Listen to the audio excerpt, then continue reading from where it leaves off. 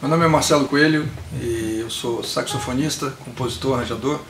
Nós somos Marcelo Coelho Maclave, com Glécio Nascimento no baixo e o Abner Paul na bateria.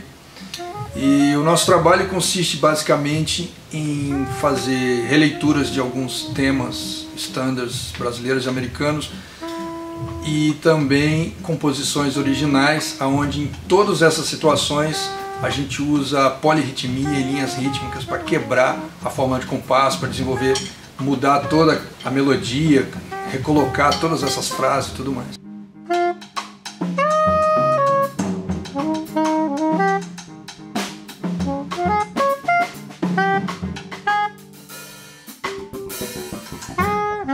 Por incrível que pareça, que parece maluco, mas as pessoas ficam muito mais atentas ao que está acontecendo porque elas percebem que tem uma interação muito grande no grupo. A nossa formação, quando é fechado assim em círculo, é porque a gente precisa, inclusive, do gestual, do olhar para se encontrar e para definir certas coisas. E o público que não entende necessariamente o que está acontecendo musicalmente, eles percebem que tem uma interação do grupo mais do que simplesmente cada um fazendo a sua parte isoladamente, entende?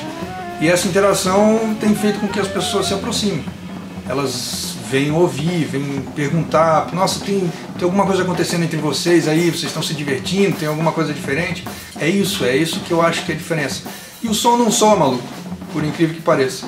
A gente não só não está acostumado a ouvir esse tipo de claves ou linhas rítmicas normalmente, mas quando a gente resolve tocar, por exemplo, alguma coisa em 4x4, a dificuldade é a mesma, porque a gente descobre que tocar em 11, 17 ou 4 é a mesma dificuldade.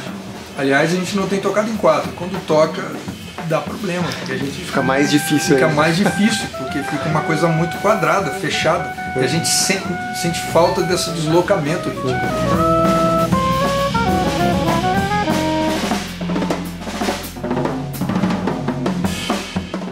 Para um profissional como um bom performer, obviamente ele tem que dominar o seu instrumento, dominar o repertório do gênero musical que ele atua, seja qual for, seja música instrumental, jazz, rock, ele tem que conhecer o repertório, até mesmo música erudita.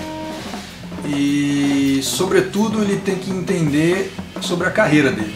O que é um performer? Qual a função do performer? Ele tem que ter esse outro lado de, de administração do seu trabalho, para ele poder saber o que ele está vendendo, o que ele está mostrando, o que ele está falando isso faz uma diferença muito grande quando um performer sabe o que ele está fazendo, qual é o propósito do trabalho dele.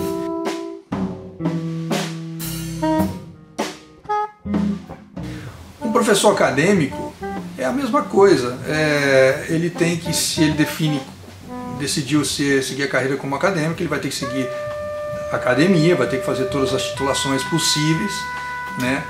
vai se dedicar a um ou dois temas de pesquisa que, do qual ele será uma referência, a ideia é que seja essa, e também vai influenciar pessoas com esse seu trabalho de pesquisa. Né? Um pouquinho diferente às vezes de pensar a carreira de maneira mais empreendedora para um professor acadêmico, porque normalmente ele se torna um pesquisador e vai dar aula numa instituição.